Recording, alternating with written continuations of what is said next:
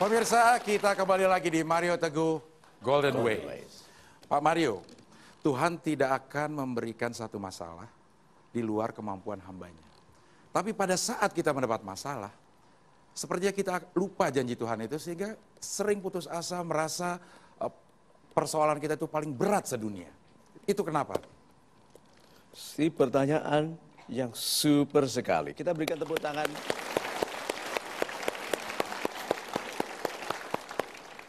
Sahabat-sahabat saya yang baik hatinya, your problems are not you.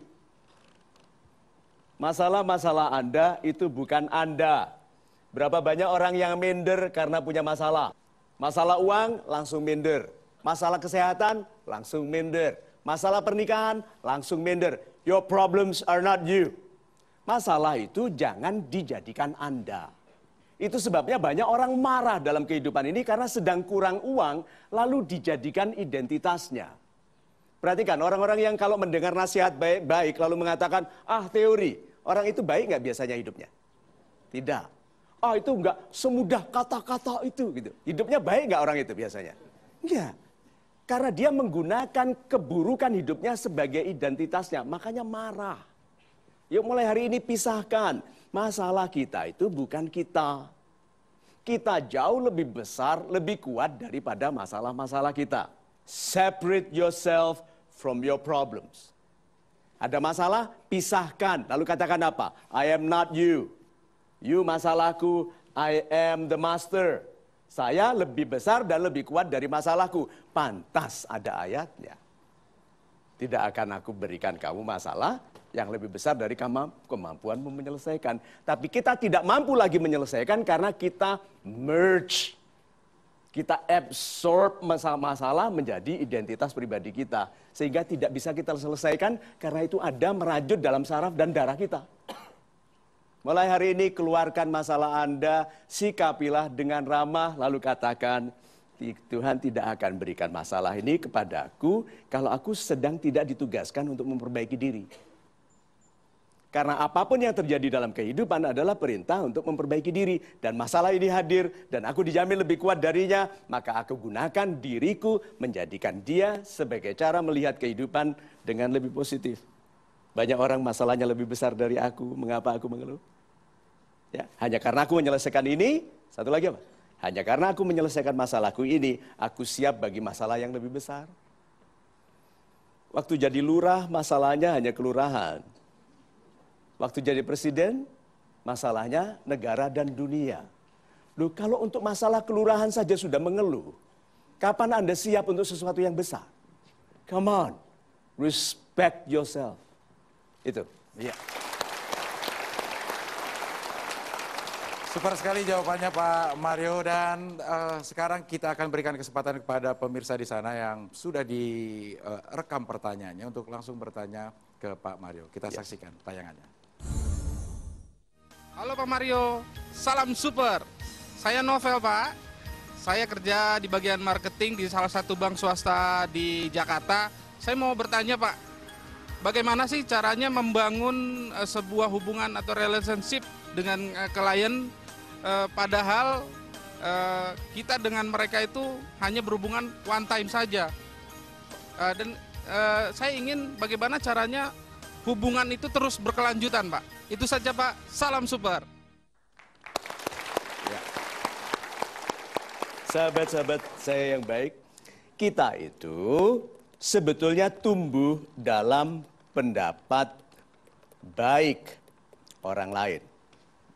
Kalau pendapat orang lain itu baik dan tumbuh, pendapatan kita tumbuh, pangkat kita naik, posisi kita lebih tinggi. Ya, pendapat baik. Banyak orang tidak khawatir mengenai pendapat baik orang lain, berpakaian sembarangan, foto di Facebooknya itu, monyet pakai kacamata, pakai kaos kutang. Ya, coba lihat itu. Jadi dia tidak peduli mengenai pendapat baik orang lain, padahal hidupnya ditentukan oleh bagaimana baiknya orang berpendapat tentangnya. Tapi kita merusak kedamaian dan upaya dengan mendengarkan pendapat buruk orang lain pendapat baik kita tidak peduli, pendapat buruk dijadikan perusak tidur. Aneh ya? So, anjurannya, kalau kita tumbuh pada pendapat baik, ini loh anjurannya. Dan karena saya dulu juga orang bank, saya tahu persis satu hari saya akan ketemu siapa dan berapa orang, saya hitung. Yuk, adik-adik saya yang baik hatinya hitung. Anda butuh berapa puluh ribu orang yang berpendapat baik tentang Anda untuk menjadi orang hebat. Sebut, berapa puluh ribu? Sebut angkanya. Sepuluh ribu. Lima belas ribu. Seribu saja. Satu saja sudah cukup. Nanti saya akan kembali ke Anda ya. Anda berapa puluh ribu? Saya sebut puluh ribu. Lima puluh ribu, super. Tujuh puluh ribu. Sembilan puluh sembilan ribu. Teman sendiri Pak, boleh. Oke? So, sahabat-sahabat saya. Orang yang sudah tahu dia harus berhasil menjadi orang hebat itu. Syaratnya dia mempengaruhi pendapat 99 ribu orang, dia akan bekerja memastikan setiap orang yang ditemuinya berpendapat baik. Dan karena tidak semua orang yang harus berpendapat baik tentang dia hadir di ruangan ini, dia harus menjaga rekaman dari suara dan penampilannya baik karena akan ditonton di tempat lain. Orang-orang yang peduli tentang pendapat orang baik menjadikan dirinya baik. Kalau satu orang karena Bapak hanya perlu pendapat baik dari kepala negara. Lalu menugaskannya jadi menteri meskipun dibenci semua orang. Itu yang tidak lama menjabat. Satu orang yang penting memang bisa mempengaruhi karir kita, tapi sebaiknya, ini dengarkan ini ya, ini penting sekali. Setiap orang sedang menunggu ditemukan. Kalau Anda ditemukan presiden, Anda bisa jadi panglima. Tapi kalau Anda ditemukan rakyat, Anda jadi presiden. Lebih baik mana? Ditemukan rakyat dan itu artinya banyak-banyakan orang yang kita gembirakan. So kok banyak ya orang hidupnya itu untuk memaki-maki, mencaci orang, padahal dia perlu pendapat baik orang lain.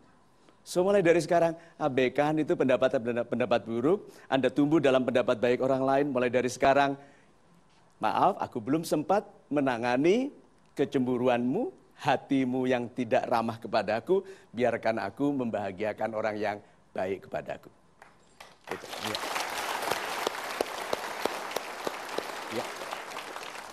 Pemirsa, kita harus break lagi sejenak saja. Nanti kita akan kembali lagi tetap di sini di Mario Teguh Golden Way.